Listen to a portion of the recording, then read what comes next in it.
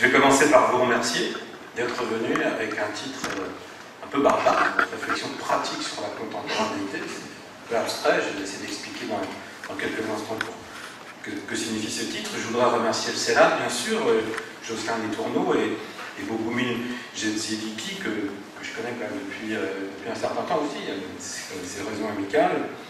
et je voudrais également remercier le professeur Talbot qui va avoir la, tâche de commenter un, texte sur lequel il ne sait rien. Ce qui est une des joies de ce métier euh, que d'improviser euh, au pied levé sur, des questions parfois un peu ardues. Alors j'ai choisi ce soir d'évoquer un travail, et là je suis très sérieux, un travail qui est en cours depuis longtemps. C'est une réflexion, c'est un livre même, pour tout dire, dont je dis à peu près chaque année à la même époque, en septembre, qu'il est presque fini. Et il n'est toujours pas fini.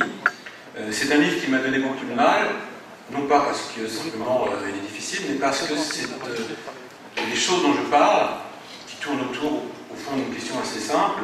Qu'est-ce que c'est que la contemporanéité? Qu'est-ce que c'est qu'être contemporain? Et par conséquent, en ce qui concerne l'écriture de l'histoire et l'exercice de ce métier, qu'est-ce que c'est qu'un historien du contemporain? Qu'est-ce que c'est qu'un historien du temps présent? La question peut paraître académique. Je l'ai euh, vécu comme quelque chose qui n'était pas académique, qui était quelque chose de tout à fait essentiel, à la fois pour comprendre mon métier et pour comprendre euh, la place de l'historien dans l'espace public, une place qui a profondément changé ces dernières années, sujet dont je ne parlerai pas ce soir, puisque c'est le thème de, l'intervention que je ferai demain dans, le colloque international qu'organise Jocelyn Les Tourneaux. Alors, la problématique ce soir porte sur l'écriture de l'histoire du temps présent. J'essaierai d'expliquer ce que signifie cette notion, pas toujours traduisible en d'autres langues, elle vient de l'allemand. Elle existe euh, en espagnol, elle a été reprise euh, dans d'autres langues. Elle est beaucoup plus difficile à traduire en anglais. Alors de temps en temps, on voit apparaître History of the Present. on sent bien qu'il y a quelque chose qui ne va pas. Et si on essaie de trouver l'équivalent de ce terme, on va tomber très bêtement sur Contemporary History. Et, donc, euh, on pourra dire mais pourquoi est-ce que les Français nous cassent la tête à couper les cheveux en, 25 et, pourquoi inventer une autre formule pour quelque chose au fond qui marche depuis toujours très bien, l'histoire contemporaine. Voilà, ça ne marche pas aussi bien que ça de mon point de vue, et en tous les cas, il y a eu des débats, il y a des débats à la fois épistémologiques, des débats éthiques, des débats pratiques sur ce qu'est cette histoire, et donc c'est un peu l'objet de, de, mon propos, d'essayer de comprendre qu'est-ce qui se cache derrière une pratique qui, a priori, une pratique historiographique, manière de faire de l'histoire qui, a priori, serait simple, travailler sur son propre temps, ça paraît simple. Alors, l'autre aspect, on pourrait dire dans cette démarche qu'elle a quelque chose de narcissique, je l'ai souvent entendu, comme la plupart des gens qui travaillent sur l'historiographie ont un jour ou l'autre entendu cette critique, travailler sur l'histoire, euh, s'intéresser en historien à la pratique de l'histoire serait évidemment faire preuve d'une forme de narcissisme, voire pire encore de corporatisme, puisque c'est s'intéresser à soi-même, à son propre métier, et qu'au fond, euh, euh, l'intérêt, au-delà du cercle académique, est faible. Eh bien, je crois que je fais partie, comme un certain nombre d'entre vous ici, euh, des historiens qui ont considéré que ce n'était pas du tout ainsi qu'il fallait aborder les choses, que la manière d'écrire l'histoire, en ce qui me concerne ici l'histoire d'un passé proche, est un indicateur important pour comprendre le rapport qu'une société entretient avec son passé. Je le dis de façon extrêmement simple. On peut appeler ça régime d'historicité. C'est un, concept qui a, une certaine vogue en ce moment, notamment en France, qui a été, inventé par les anthropologues et qui a été repris par François Hartog. On peut parler de conscience historique. Je ne sais pas si c'est exactement la même chose. De prime abord, j'ai l'impression que c'est la même chose. Mais peu importe. Pas, mon, propos ici n'est pas de faire une distinction entre ces deux termes. Mon propos est de dire simplement, si l'écriture de l'histoire par les historiens, disons professionnels pour aller vite, est certes loin d'être le seul élément d'une conscience historique, sinon quelle responsabilité nous aurions, mais c'en est un élément important. Ce qui fait que dans mon propos, si je suis euh, la question de l'écriture de l'histoire, c'est parce qu'elle est pour moi un indicateur. Évidemment, ce qui m'intéresse au-delà de ma pratique, c'est tout simplement de comprendre ce qu'est une histoire. Enfin, ça peut paraître des questions presque, presque pas futiles, mais presque simples. Mais c'est vrai qu'après, euh, mettons, 30 ans de carrière, j'ai encore du mal à saisir exactement quelle est la particularité, s'il y en a une, de l'histoire contemporaine. Alors, ce travail s'inscrit aussi dans une généalogie que je vais retracer très brièvement, je ne vais pas faire un, long développement là-dessus. Euh, j'appartiens à l'institution depuis toujours, j'ai fait toute ma carrière en France dans la même institution, qui est l'Institut d'histoire du temps présent, qui a été créé en 1980 et qui donc a, choisi comme vocable un terme qui n'existait pas dans l'historiographie à l'époque, euh, en tous les cas française et même internationale. Le seul exemple, euh, l'une des rares références qui a été utilisée pour la création de cet institut, donc c'était l'Institut für Zeitgeschichte de Munich, qui lui-même a toute une histoire, qui a été créé pratiquement à l'orée de la République fédérale allemande, et qui avait une mission centrale, essentielle, voire exclusive jusqu'à une époque très récente, l'histoire du nazisme. Donc déjà, on est dans une configuration tout à fait particulière. Alors, pour ceux que ça intéresse, pourquoi temps présent, pourquoi histoire du temps présent, il y a toute une, série de, raisons. mon institut a été créé par un, historien euh, qui a disparu euh, prématurément, François Bédarida, qui était lui-même ce qu'on appelle un catholique de gauche, et, la notion de temps présent faisait référence à une revue personnaliste des années 30, euh, d'un mouvement qui était un mouvement catholique euh, qui considérait que les catholiques devaient avoir un, plus qu'un pied, les deux pieds, voire les deux mains et toute la tête, dans, euh, le, dans, le siècle. C'est-à-dire avoir un enracinement dans les problèmes séculiers, dans le problème du temps. Et c'est en vertu de cette tradition que le, terme histoire du temps présent a été reprise. Alors, on l'a préféré à l'époque à un terme plus simple, donc histoire contemporaine, pour une raison tout à fait précise qui appartient non pas simplement à l'univers académique français, mais à l'univers académique en général européen et même au-delà. L'histoire contemporaine en France et dans beaucoup de pays européens désigne une période, vous savez, qui commence avec la Révolution française. Donc déjà, on est dans un, un problème qui au départ ne m'avait pas beaucoup préoccupé, qui a fini par me préoccuper avec le temps. Que signifie être contemporain de Robespierre Que signifie appartenir au même temps que des acteurs un événement qui, au moment où se crée cet institut, a deux siècles. Alors la question peut paraître dérisoire, elle ne l'est pas, parce qu'elle pose une question fondamentale. Que signifie le terme de contemporanéité au-delà de sa définition étymologique, simple, vivre dans le même temps que, que, que les acteurs sur lesquels on va travailler. Alors qu'est-ce que c'est qu'une contemporanéité qui couvre deux siècles? La question est tout sauf innocente, d'abord parce que l'une des raisons, j'y reviendrai rapidement tout à l'heure, pour laquelle on continue d'appeler contemporain euh, une, histoire du passé proche qui commence avec la Révolution, c'est une référence à la contemporanéité de, des débuts de la Troisième République, au moins pour la France. C'est-à-dire que le contemporain, l'histoire contemporaine telle qu'on la conçoit encore au début de l'an 2000, ou à la fin du XXe siècle, est encore dans sa définition institutionnelle, académique, avec toutes les conséquences sur les programmes, l'organisation des, des, différentes filières, etc., dans une conception qui renvoie au début de la Troisième République, dans lequel évidemment l'événement révolutionnaire non seulement était une référence, mais était une référence encore proche dans le temps. Pour l'instant, dans ma manière d'aborder les choses, la notion de contemporanéité est strictement biologique et temporelle. C'est-à-dire que euh, est contemporain, on est dans le contemporain si on est proche, voilà, notion, c'est-à-dire quoi proche exactement, comme cette notion évidemment de temps a évolué depuis un siècle, et puis on est dans une relation biologique. On, appartient en même temps que des vivants. c'est la définition simple de, l'histoire contemporaine. Alors évidemment, la création de l'IHTP est, quand même un micro-événement. Je ne vais, pas, faire une conférence simplement pour vous parler de la création d'un institut qui aujourd'hui a, a, pignon sur rue, mais elle s'inscrit aussi, euh, cette création, dans un contexte beaucoup plus large, où émerge au niveau européen euh, d'abord une préoccupation inédite pour la mémoire, qui a été précédée, alors je ne vais pas refaire cette histoire qui est connue, pour l'histoire orale, pour une histoire vue d'en bas, mais peu à peu va, émerger un thème qui va apparaître comme absolument central, qui va être la question de la mémoire, thème dont je dis souvent, quand moi j'ai fait mes études, c'est un thème dont je n'ai jamais entendu parler. C'est-à-dire que peut-être j'étais un mauvais étudiant, en tous les cas j'étais largement dans la moyenne, mais la notion de mémoire collective qui a totalement envahi l'espace public au moins occidental, je pense que ça va même très au-delà des sociétés occidentales. Et en tous les cas, le champ académique des historiens n'existait tout simplement pas, ou de façon très particulière, lorsqu'on parlait d'histoire orale, on parlait évidemment de la mémoire, en tous les cas la mémoire individuelle, la mémoire de groupe, mais la notion de mémoire collective, la question du devoir de mémoire, la question d'une politique de mémoire, ces questions-là n'appartenaient absolument pas au vocabulaire de l'historien. Donc, contexte d'émergence de la mémoire, contexte de la réouverture de dossiers historiques euh, qui étaient clos notamment sur un plan juridique ou sur un plan politique. Moi, j'ai vécu, euh, ma, enfin, vécu ma carrière, j'ai commencé ma carrière avec la réouverture du dossier de Vichy, alors que j'avais choisi de travailler sur Vichy et que je n'avais absolument pas suivi l'actualité. Je vous promets, je vous jure, euh, parce qu'aujourd'hui c'est très différent. Un, historien peut, par des stratégies tout à fait d'ailleurs respectables, s'engager dans des terrains dont ils sont qu'ils ont une pertinence dans l'espace public. Moi, quand j'ai commencé à travailler sur Vichy, cette, cette période n'existait pas, en tous les cas pas au, point où elle a émergé dans l'espace public.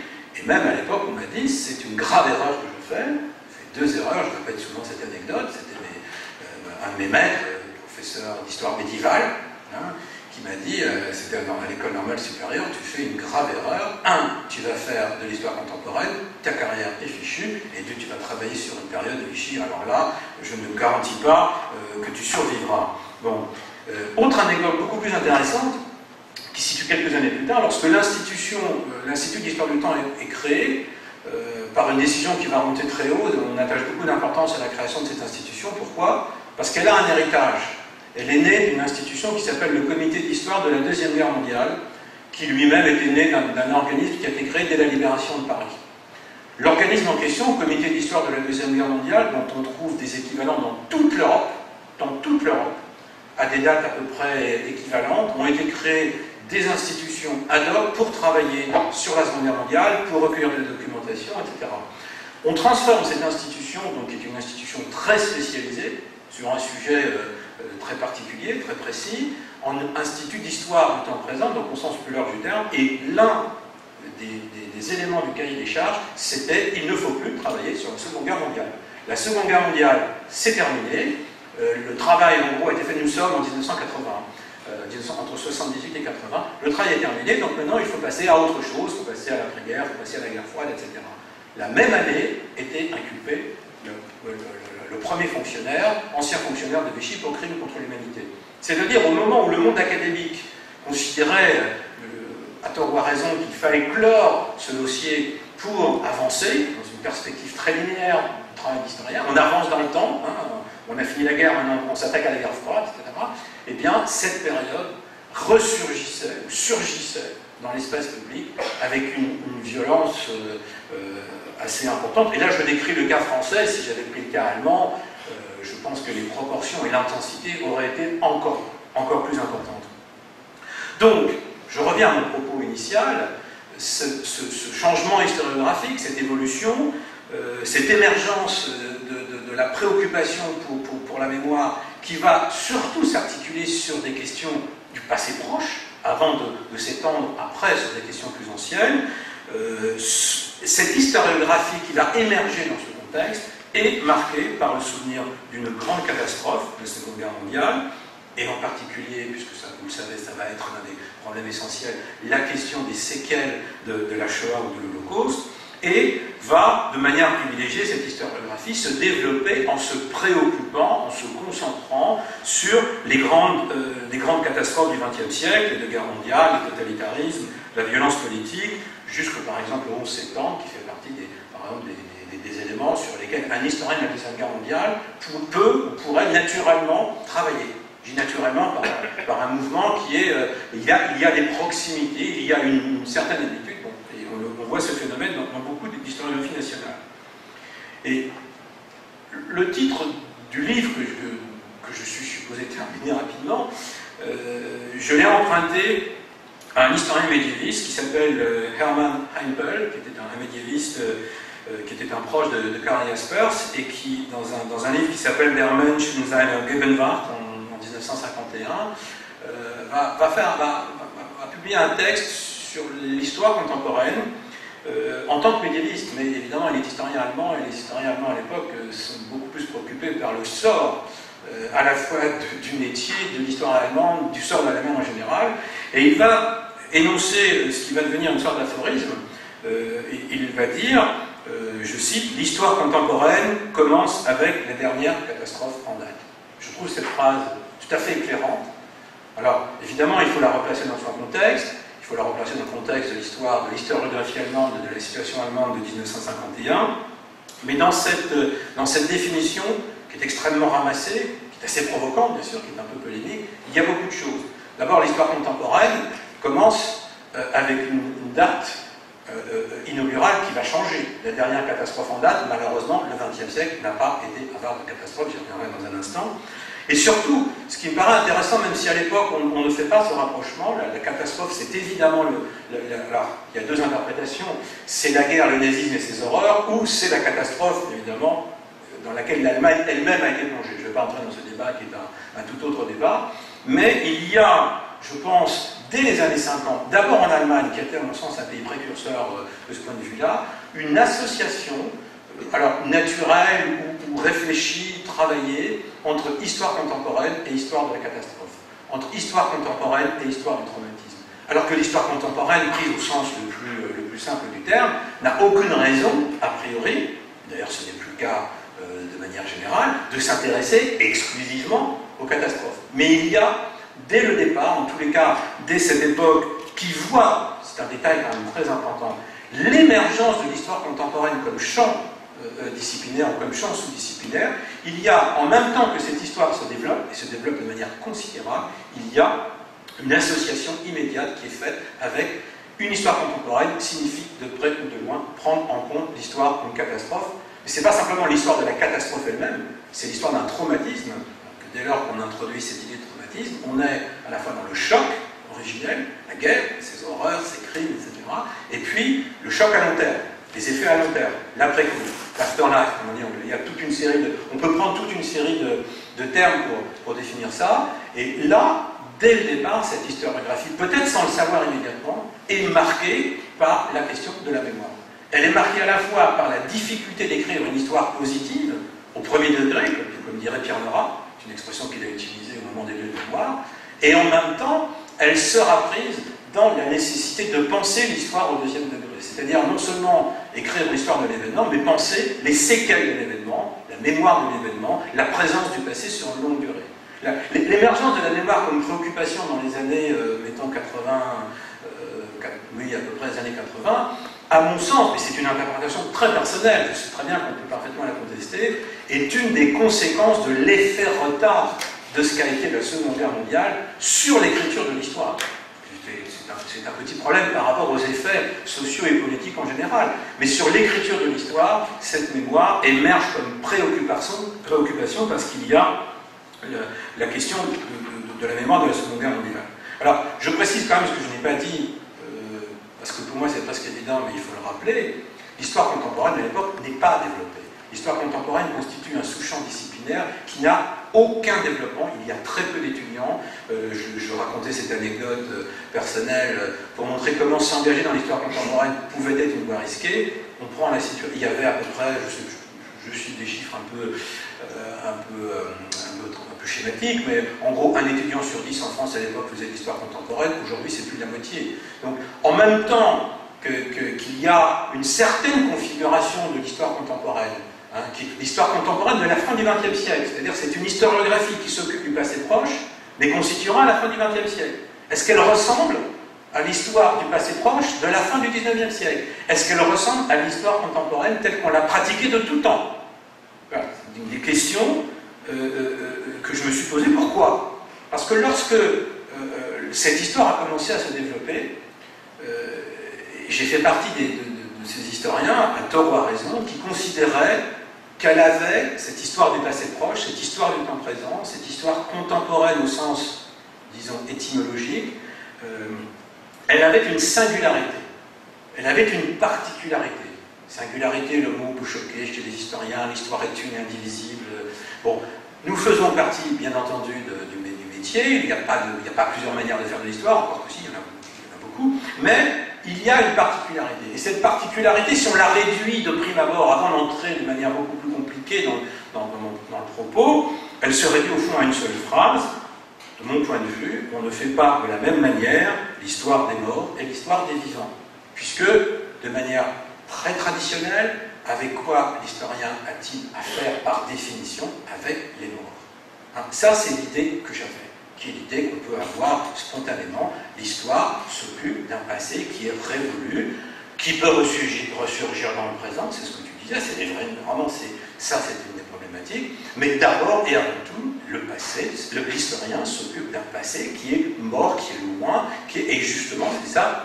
Et qu'est-ce qu'on fait avec un passé qui est vivant? Alors, c'est là où on introduit une distinction.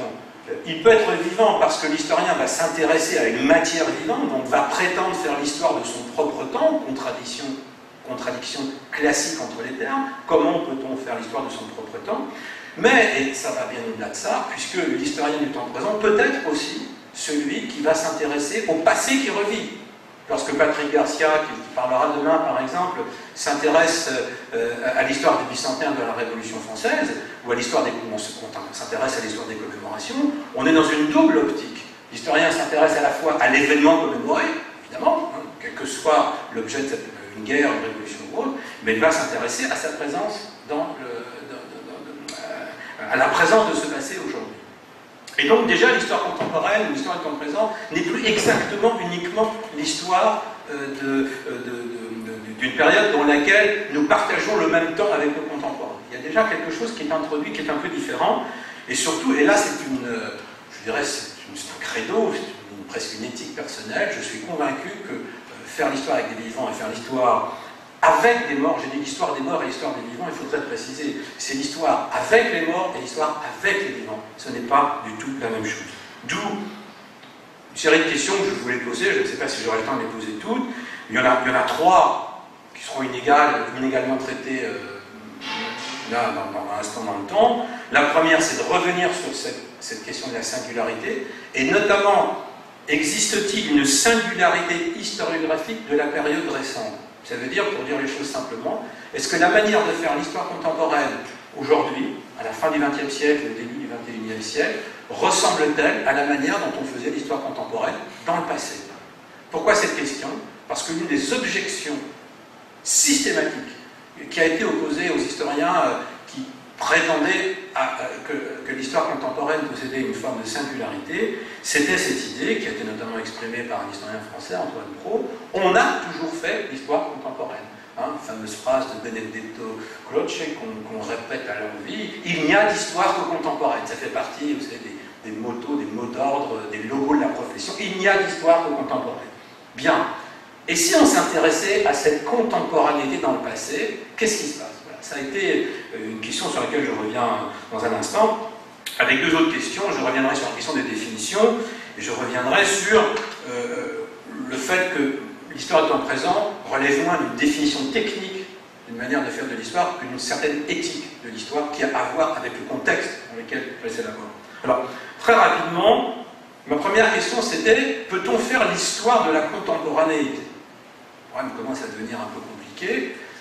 J'ai voulu tout simplement répondre à cette question je n'ai pas le sentiment que de tout temps, on a fait l'histoire contemporaine. Je peux me tromper, mais je n'ai pas ce sentiment-là. Au départ, c'est une intuition. Euh, alors, ça a commencé par une interrogation qui était notamment celle de Pierre Nora euh, à la fin des années 70. Il, est, il, a été un précurseur en ce domaine, comme dans d'autres domaines. Il, il, écrit un article qui s'appelle Présent dans euh, la, Nouvelle Histoire, qui est un volume qui a eu un retentissement considérable dans l'historiographie, euh, puisqu'il prenait en compte euh, toute une série de changements majeurs dans l'historiographie, pas simplement française, mais l'historiographie euh, au moins européenne, sinon internationale. Et parmi ces changements majeurs, il y avait l'introduction d'une nouvelle catégorie, qui était la catégorie du présent. Et dans cet article, Nora rappelle quelque chose de tout à fait intéressant. Il dit l'histoire contemporaine comme sous-discipline, disons, comme préoccupation historiographique, en gros, est née, ou en tous les cas apparaît à la fin du XIXe siècle, dans un double mouvement. D'un côté, elle apparaît avec l'émergence de l'histoire comme discipline scientifique, c'est une chose que vous connaissez sans doute, hein, France, en France, en Allemagne, d'autres pays. L'histoire, qui était une discipline à la fois littéraire, qui était une discipline qui n'avait pas de statut scientifique, même avait une sorte de malédiction qui datait d'Aristote, hein, une vieille malédiction aristotélicienne. L'histoire, c'est euh, l'approche du particulier, alors que les grands problèmes du monde doivent être traités dans une approche générale, c'est la, la, grande, la grande tradition qui, d'une certaine manière, excluait l'histoire du champ des grandes disciplines, eh bien, avec le 19e, vous le savez, avec la révolution historiographique à la fois en Allemagne et, en France, euh, l'histoire va devenir une science. Mais au moment où elle devient une science, alors c'est tout à fait caractéristique en France, ça l'est aussi un peu en Allemagne, l'idée qu'il puisse y avoir une histoire donc scientifique du contemporain est exclue.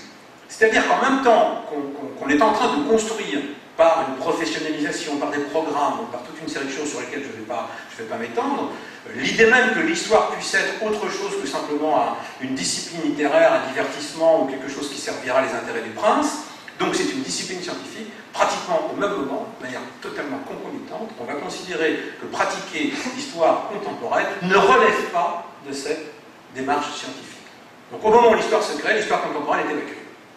Et cette évacuation va durer pratiquement un siècle. C'est-à-dire que jusque dans les années 80, alors évidemment je force un peu le trait parce qu'on a toujours fait l'histoire contemporaine, bien sûr, il y a toujours eu des ouvrages qui traitaient d'une histoire du passé proche, mais en termes de programme, en termes de légitimité, en termes de...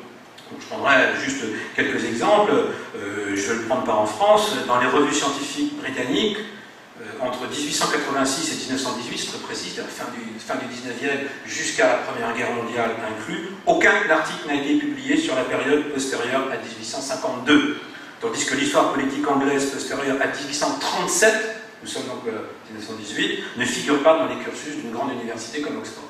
je, prends mes chiffres d'un ouvrage que Gérard L'Oréal a publié il y a quelques années sur l'histoire contemporaine. Il y en a beaucoup d'autres hein, comme ça. Hein, euh, en France, dans les revues scientifiques, l'histoire contemporaine n'a pas droit de citer. Ça va changer un peu, bien sûr, mais si on compare cette situation de la fin du 19e avec la situation actuelle, ou si vous prenez n'importe quelle revue scientifique d'histoire, euh, sans même parler de revues spécialisées, l'histoire contemporaine, encore une fois, est dominante, il y a un problème. Et là, il y a un paradoxe, dès le départ, au moment où l'histoire, paradoxe apparent, au moment où l'histoire euh, émerge comme science, eh bien, l'histoire contemporaine est évacuée.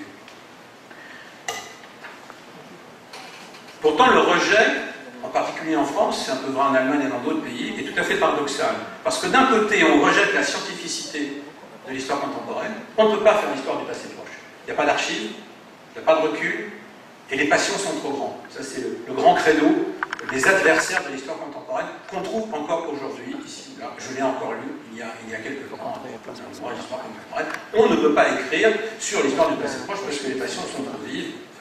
c'est l'opposition classique qu'on fait à la possibilité d'une histoire contemporaine. Mais dans le même temps, et c'est tout à fait frappant dans le cas de l'historiographie française, la, préoccupation pour l'histoire du passé proche, pour l'histoire de la Révolution française, pour l'histoire de ce qui a suivi la Révolution française, et constitue un engagement majeur des mêmes historiens qui refusent à cette histoire contemporaine son statut scientifique. En même temps qu'on lui refuse son statut scientifique, on l'enseigne dans les manuels scolaires, on la met dans les, par exemple, euh, Ernest Lavis, célèbre historien français de l'identité française, etc., va euh, la traiter dans ses ouvrages de vulgarisation. C'est-à-dire l'histoire contemporaine est possible pour le peuple, elle doit participer de l'éducation du peuple, elle constitue quelque chose qui est de l'ordre de l'engagement de l'historien dans la cité, mais elle n'est pas une science. Vous voyez, c'est quand même euh, c'est un vrai problème, parce que évidemment, dans, les années 80, ce serait une situation totalement différente. Non seulement l'histoire contemporaine aura toujours sur eux, mais elle sera pleinement considérée comme appartenant au, champ scientifique. Donc, à partir de, euh, ces deux exemples historiques, la, situation dans laquelle je me trouvais personnellement, la, fin du XXe siècle, euh, avec ce point de référence qui était systématiquement invoqué par les historiens du contemporain du temps présent à l'époque, l'exclusion l'exclusion, nous avions été exclus, nous étions des parias. C'est bon d'être des parias, parce que ça permet de. Il y a un enjeu, il y a, un challenge. Euh, nous allions reconquérir l'espace dont on nous avait exclus.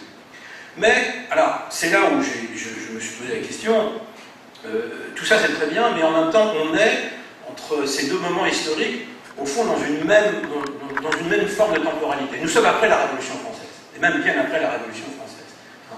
Et lorsqu'on s'interroge, mais pourquoi donc euh, euh, parle-t-on d'histoire contemporaine euh, pour une période qui a deux siècles? On voit bien que la Révolution française, comme d'autres événements dans d'autres historiographies, par exemple nationales, pourrait jouer le même rôle. On voit bien qu'il y a une confusion entre deux choses.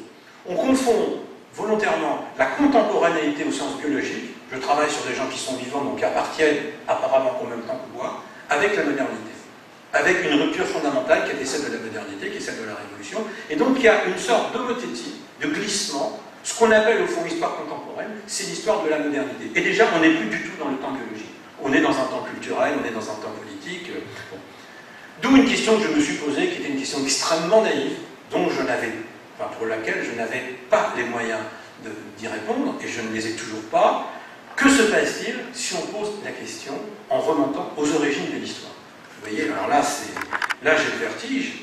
Euh, à plusieurs reprises, d'ailleurs, à, l'IHTP, on avait essayé de monter euh, des séminaires, notamment pendant une année avec François Hartog, euh, sur le thème Peut-on faire l'histoire de la contemporanéité? Peut-on faire une histoire de l'histoire contemporaine?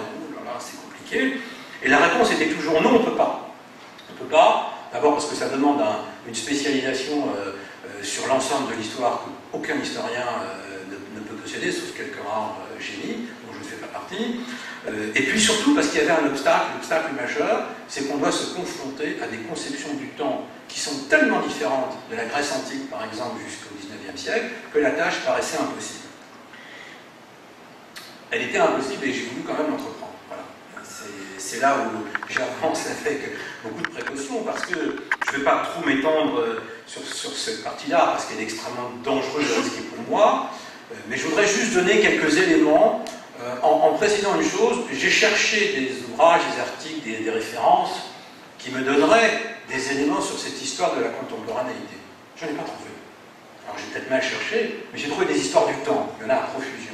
J'ai trouvé euh, euh, des historiographies développées sur des périodes précises. Mais une, des histoires de l'histoire, il y en a des revues. Hein. on peut faire des revues de revues, tellement c'est un sujet qui est, un sujet, en tout cas, qui était un sujet extrêmement important il y a une vingtaine d'années, qui est en train de revenir à la surface.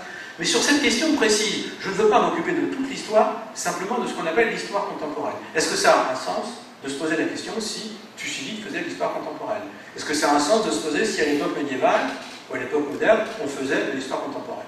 Alors, encore une fois, c'est avec mes petites mains d'historien du contemporain, du temps présent, accusé d'ailleurs de surcroît en permanence de ne s'intéresser qu'au présent, c'est une des accusations qui pèsent en permanence sur les historiens du contemporain, vous n'avez pas la distance, vous ne prenez pas en compte la longue durée, j'ai entendu ça pendant 30 ans, hein, vous n'avez pas de perspective en profondeur, vous êtes le nez sur l'actualité.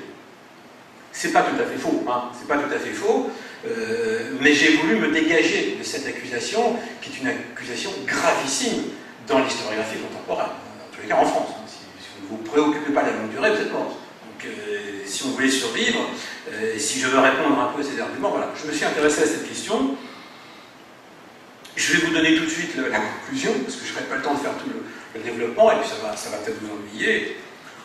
Au fond, l'idée centrale était assez simple, elle était sous mes yeux, et, on peut la formuler euh, avec énormément de, de, précautions, mais peu importe, jusqu'à l'époque des Lumières. Là, je résume vraiment à très très gros traits. Jusqu'à l'époque des Lumières. Avant la Révolution française, et a fortiori après la culture révolutionnaire, il n'y a pas de singularité propre dans les pratiques de l'histoire façon d'écrire l'histoire, quelle que soit cette manière d'écrire l'histoire, il n'y a aucune singularité propre à l'histoire contemporaine. On ne peut pas isoler quelque chose qu'on pourrait appeler histoire contemporaine, comme nous, nous le faisons aujourd'hui de façon tout à fait spontanée. Pourquoi? Parce que cette histoire contemporaine fait partie, parfois même domine, les écrits historiographiques en Occident. Je ne me suis pas préoccupé de l'historiographie, c'était déjà suffisamment compliqué pour moi. Ça veut dire que la notion même de contemporanéité n'émerge même pas dans les préoccupations épistémologiques de l'histoire. Tous ces mots sont d'ailleurs un peu anachroniques, hein. c'est-à-dire que ce sont des mots qui appartiennent à un vocabulaire qui lui-même est postérieur à la Révolution française. Mais si il n'y a pas de contemporanéité, c'est parce que faire l'histoire de son temps est le mouvement naturel des historiens depuis l'origine avec quand même quelques petites différences sur lesquelles je vais donner quelques éléments parce que c'est un champ immense. Alors, en ce qui concerne les historiens grecs, l'Antiquité, j'ai suivi religieusement les, travaux de François Hartog, qui un, des interlocuteurs, monsieur avec qui le plus discuté. Et évidemment, lorsqu'on le lit, lorsqu'on s'intéresse à cette historiographie, alors là je vais dire des choses que peut-être vous connaissez, euh, l'histoire véritable l'histoire véritable, cette notion apparaît très tôt. Il y a une bonne histoire et une mauvaise histoire. C'est très important ça. C'est-à-dire que l'histoire est possible, elle est toujours possible. Il y aura toujours une histoire. Il faut dire la nature a horreur du vide. On va toujours raconter quelque chose sur ce qui s'est passé. Mais une histoire véritable, véritable, il faut faire référence à sa racine, c'est-à-dire qu'il y a à voir avec la vérité.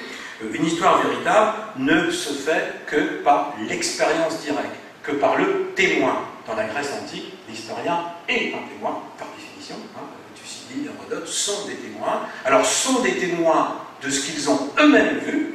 Donc, on est là vraiment dans la contemporanéité la plus, immédiate.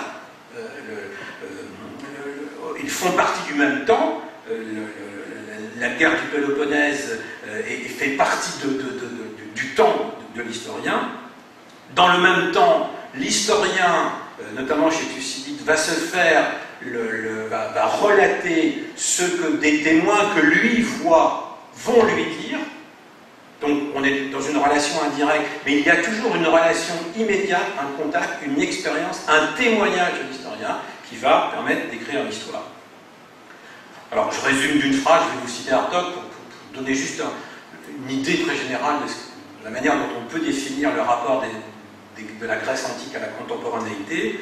C'est l'œil, et non pas l'oreille, qui est au cœur de, de la pratique de l'histoire. L'œil est au centre de l'histoire et l'histoire se fait au présent. Il n'y a d'histoire véritable qu'au présent.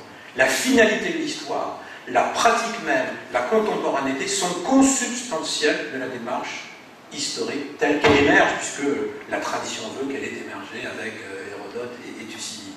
Et donc, euh, à, partir de là, euh, il n'y a aucune raison de poser la question de la contemporanéité. Elle ne se pose tout simplement pas il n'y a pas, je vais revenir là-dessus, il n'y a pas de coupure entre le passé et le présent. C'est aussi simple que ça.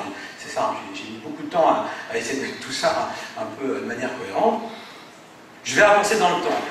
Alors on va oublier euh, Hérodote, euh, la Grèce antique, le temps cyclique, bon, j'ai pas le temps de développer. On va arriver à l'époque médiévale, l'époque sur laquelle je ne savais plus rien depuis mes, études. Et là, je me suis de nouveau intéressé à, cette période. Et là, c'est très intéressant parce que là, là encore, la contemporanéité apparaît très clairement lorsqu'on lit les ouvrages sur l'historiographie médiévale. Elle apparaît par exemple dans, dans une formule que Jacques Le Goff emploie, la période médiévale vit dans une sorte de présent perpétuel.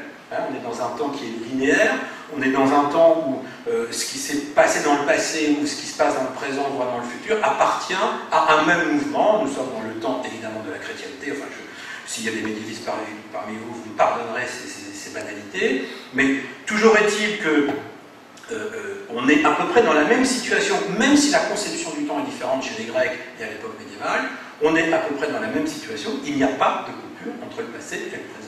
Et donc la notion même d'histoire contemporaine n'a tout simplement pas de sens. Alors je vais vous citer un, des grands historiens médiévistes, récemment disparu. Les historiens païens, donc avant le christianisme, voyaient l'histoire du monde sous une forme cyclique. Les civilisations fleurissaient, naissaient et mouraient l'une après l'autre.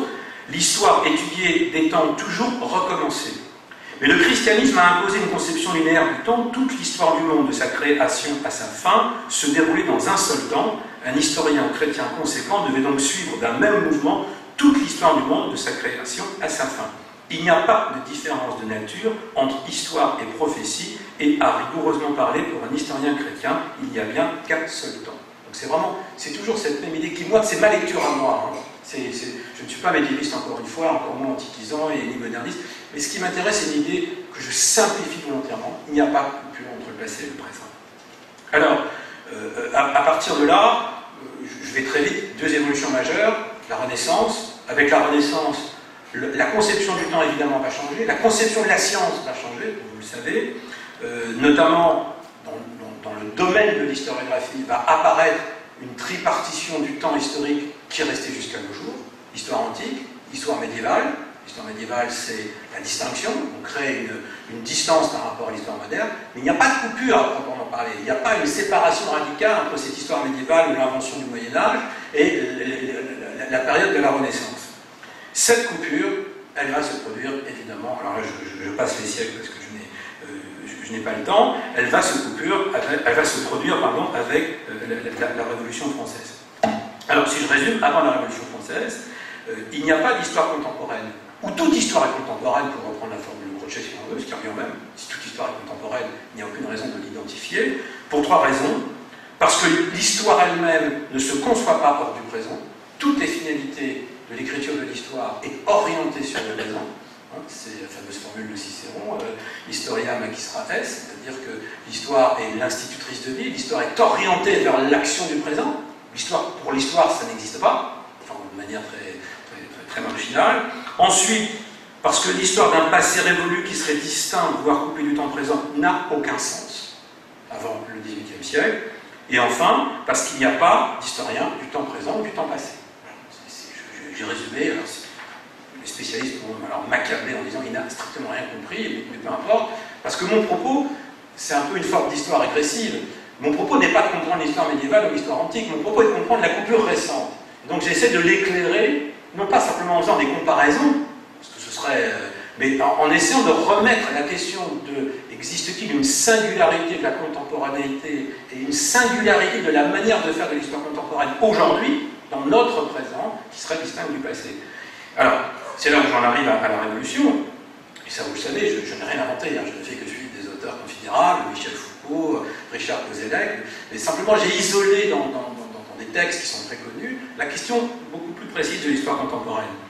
Alors, je résume, avec le XVIIIe et la Révolution française, on assiste d'abord à un bouleversement épistémologique, il viendra notamment d'Allemagne. Euh, à partir de, ce moment-là, on va distinguer entre les histoires particulières et l'histoire, hein, puisque c'est à ce moment-là qu'émerge l'idée qu'il existe un principe, une sorte de providence non divine qui a pour nom histoire et qui commande au fond l'action des hommes, qui va donner naissance à la philosophie de l'histoire, hein, Kant, Herder, Hegel, etc. Et donc évidemment qui va changer complètement la, position des, historiens. Euh, et puis surtout, alors ça, ça a été dit et redit par beaucoup de, philosophes ou d'historiens qui se sont préoccupés d'historiographie, le, véritable, euh, le véritable, la, véritable innovation du point de vue de l'historiographie de la Révolution française, c'est qu'elle va marquer une coupure radicale entre le présent et le passé. C'est-à-dire que pour la première fois dans l'histoire, l'idée qu'il existe un passé révolu c'est-à-dire un passé qui n'existe plus, qui est mort, en les cas qui est détaché du présent, qui a, perdu ses racines avec le, temps présent, va émerger avec, à cause, on peut dire, de la Révolution française, qui crée un avant et un après totalement radical. L'ancien régime et le, futur, projection dans le futur. Et cette, alors, évidemment, tout ça est encore une fois très schématique, très schématiquement résumé, mais dès lors qu'il y a émerge l'idée d'un passé révolu, avec des conséquences historiographiques. Il va, pourquoi est-ce que l'histoire se développe au XIXe siècle? Parce qu'il y a comme une crainte qui s'empare de, la plupart des sociétés européennes. Il faut garder des vestiges de ce qui est aujourd'hui un monde englouti. Hein, il faut garder des vestiges de cet ancien régime, de cette organisation sociale qui est en train d'être engloutie par les, effets de la Révolution. Et c'est bien au XIXe siècle que naissent euh, ben, la conception des musées, la conception du patrimoine, les premières politiques de mémoire. 5 minutes, eh ben. C'est pas grave. Euh, donc voilà. Et euh, à partir de là, dès lors qu'avec la Révolution française euh, émerge l'idée d'un passé révolu, eh bien, la notion d'histoire contemporaine va tout d'un coup prendre du sens. Pourquoi? Et là, on est dans un paradoxe qui me paraît intéressant parce que c'est un paradoxe qui est resté jusqu'à aujourd'hui. L'histoire contemporaine qui devient donc quelque chose de nécessaire, qui devient donc quelque chose d'identifiable. S'il y a un passé révolu, ça veut dire qu'il y a un passé qui ne l'est pas. S'il y a un temps révolu, ça veut dire qu'il y a un temps qui ne l'est pas. Or, la Révolution française, chez les historiens, va provoquer deux types de réactions. La première, c'est une réaction de rejet. C'est-à-dire, il va y avoir l'idée qu'il est impossible de faire l'histoire de ce qui a été la catastrophe, enfin, la catastrophe, l'événement qui a bouleversé en profondeur les sociétés européennes. On trouve des traces de ce rejet dans toute l'historiographie française, allemande du 19e. On ne peut plus faire l'histoire contemporaine, il n'est plus question de s'intéresser à l'histoire contemporaine, ce qui en soi, ce qui en soi est une évolution, voire une révolution, puisque jusqu'à maintenant, c'est ce que j'essayais de montrer, l'histoire contemporaine faisait partie intrinsèque du travail de l'historien. À partir de ce moment-là, elle va en être détachée. Ce sera une pratique sinon euh, des, auteurs différents. Cette différence est démarquée d'un côté par la lassitude, on ne peut pas faire l'histoire, par exemple, de la Révolution parce que les passions sont trop vives, et en même temps, elle est marquée par un mouvement rigoureusement inverse, nous avons besoin de sens pour comprendre l'événement, et qui, mieux que les historiens, peuvent donner du sens sur ce bouleversement du temps. Et on voit très bien, alors je n'ai pas le temps de citer des exemples, vous les trouvez notamment dans Kozelek, euh, fameux article qui décrit sur le concept d'histoire, on, voit très bien comment, dans, le, même environnement historiographique, dans les mêmes universités, vous avez les deux tendances. Ce n'est pas possible. Les patients sont trop proches, en laissant de côté la question des archives qui est purement technique euh, mais c'est la question des passions. La proximité empêche l'histoire contemporaine. De l'autre, oui, mais cet événement est tellement important que si les historiens ne s'y intéressent pas, ils vont démissionner. C'est exactement la position dans laquelle vont se retrouver des, historiens comme Ernest Tavis. D'un côté, on ne peut pas faire une histoire scientifique, par exemple, de la Révolution, à cause de ses passions, mais en même temps, cette histoire est absolument fondamentale à enseigner, à diffuser pour la formation du citoyen. Or, cette contradiction, une histoire qui est jugée impossible, infaisable, euh, à la fois pour des raisons techniques et parce que, après un grand traumatisme, eh bien, le silence doit retomber sur, sur l'événement, etc., euh, elle est considérée en même temps comme nécessaire. Cette histoire est impossible et nécessaire. De mon point de vue, c'est l'une des tensions absolument fondamentales dans la pratique de l'histoire contemporaine, notamment la pratique d'une histoire de temps présent. Alors, comme j'ai plus du tout le temps de faire ce que j'avais prévu, euh, je, vais, juste euh, dire en quelques mots pourquoi, pourquoi ça m'intéresse, pourquoi ça m'intéresse par rapport à la pratique d'une histoire du temps présent à, la fin, à la fin du XXe siècle? Quel rapport y aurait-il entre la situation des historiens à la fin du XXe siècle, aujourd'hui, et celle d'après la Révolution française? Alors, si je fais une, comparaison terme à terme, je, n'irai nulle part, bien sûr, que les, situations sont très différentes, les bouleversements ne sont pas de même nature, l'accélération du temps n'est pas la même, la perception du temps n'est pas la même, etc.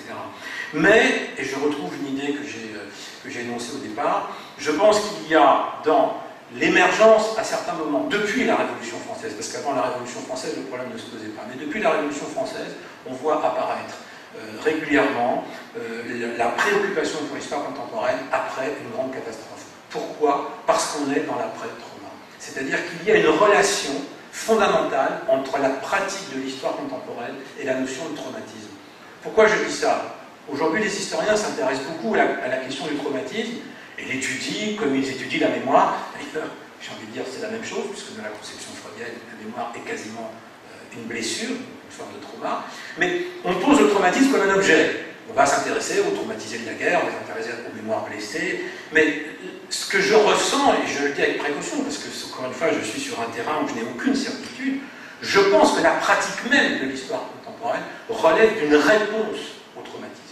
Elle relève d'une réponse au traumatisme, ça veut dire, qu'est-ce qu'elle essaie de faire? Alors, c'est notamment le cas à la fin du 19e siècle, mettre l'événement à distance, prendre du recul, euh, éviter, alors je remploie les termes freudiens, la répétition de l'événement. Ce qui est en jeu à l'époque, ce n'est pas du tout la mémoire au sens où on l'entend aujourd'hui, c'est au contraire un récit qui va avoir une fonction pédagogique, qui va, avoir, qui va donner du sens, notamment un sens national, qui va former les citoyens. Donc, on est dans une conception de l'histoire, je dirais une forme de réponse au traumatisme qui a été la Révolution française, qui est une réponse non traumatique au choc initial.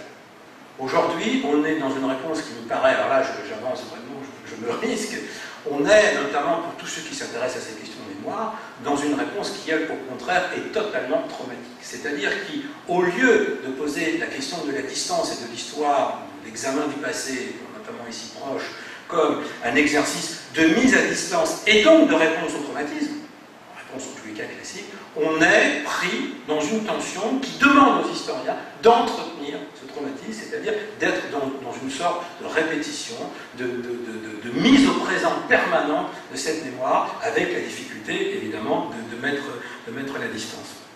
Et je pense que c'est l'une des tensions euh, qui rend la situation d'aujourd'hui très différente de celle de la, fin du XIXe siècle. D'abord, cette historiographie est scientifique, en tout cas elle se traitant comme telle, J'appartiens au Centre national de la recherche scientifique et plus personne n'y trouve rien à redire, ce n'était pas le cas il y, a, 30 ans, et en même temps, elle est prise dans des enjeux, dans une tension sur laquelle je n'ai pas eu le temps d'insister, mais qui me paraît une des tensions les plus fondamentales de l'historien du contemporain, c'est une tension entre l'altérité et l'identité. Qu'est-ce que ça veut dire? L'historien, par tradition, s'intéresse à l'altérité, c'est une banalité. Il s'intéresse à des mondes qui sont autres, à des temps qui sont autres. Euh, quand je discute avec des médiévistes, c'est première chose, vous, n'avez pas, vous, ce goût pour ce qui est totalement différent.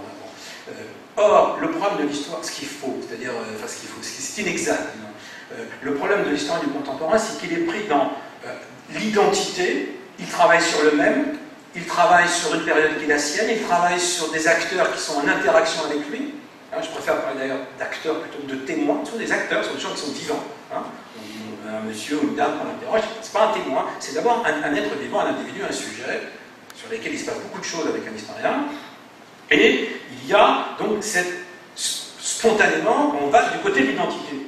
Mais en même temps, et c'est ça le travail de l'historien du temps présent, qui ressemble s'y méprendre au travail de tout historien, c'est une forme d'altérité. Mais quelle altérité? C'est l'altérité que lui va mettre sur son propre sujet. C'est-à-dire la distance qui est donnée par la nature des choses à un médiéviste qui est l'éloignement du temps, l'historien du temps présent devra la mettre lui par rapport à son propre sujet, par rapport à ses propres euh, par rapport aux gens qu'il interroge par exemple, etc.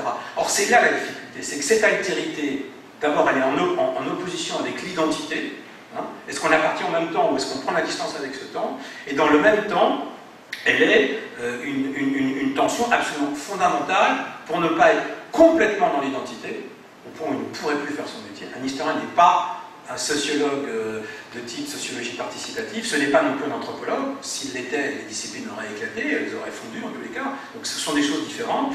Et je pense que cette tension est, tout à fait essentielle. Et je terminerai par, euh, une citation, j'ai fini. Euh, une citation, enfin deux citations, deux petites citations. La première est de Giorgio Agamben, qui est un auteur en général que je, lis peu, pour lequel je n'ai pas de, sympathie particulière, mais il se trouve qu'il a écrit un, petit texte qui s'appelle Qu'est-ce que le contemporain et qui est une lecture assez intelligente, pardon, très intelligente, du fameux texte de, Nietzsche, la seconde considération actuelle, qui est évidemment un texte majeur pour qui, s'intéresse aux questions que j'ai développées aujourd'hui. Et il a cette interprétation très simple du texte de Nietzsche, il dit, je cite, Celui qui appartient véritablement à son temps, le vrai contemporain, est celui qui ne coïncide pas parfaitement avec lui, ni n'adhère à ses prétentions, et se définit en ce sens comme inactuel. Considération inactuelle. Mais précisément pour cette raison, précisément par cet écart et cet anachronisme, il est plus apte que les autres à percevoir et à saisir le temps. Autrement dit, le vrai contemporain, c'est celui qui ne l'est pas. Et lui fait écho une autre citation qui est mal armée.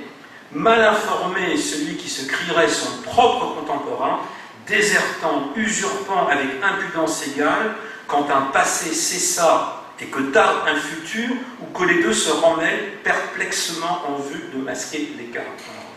C'est mal armé, hein mais c'est-à-dire on a la même idée qui a été récemment exprimée par euh, par Alain Finkielkraut dans un essai qu'il a consacré à Charles Péguy. Il a dit de Charles Péguy, c'est un mécontemporain. Je trouve cette expression absolument formidable. C'est un mécontemporain. Et je pourrais dire d'une certaine manière que l'historien du temps présent est exactement dans la même situation. C'est-à-dire que son travail, c'est non pas de se mouler dans sa contemporanéité, dans le fait qu'il habite le même temps que les gens sur lesquels il travaille, mais au contraire de le quitter un peu pour pouvoir y revenir. C'est là sa tâche principale, et évidemment, c'est là sa difficulté principale.